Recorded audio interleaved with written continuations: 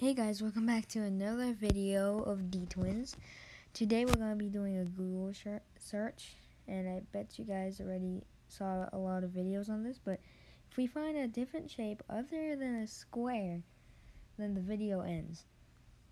So, um, leave a comment, leave a comment down below if you want me to do another one of these. So yeah, let's search up square. Hopefully, we don't see. Well, oh.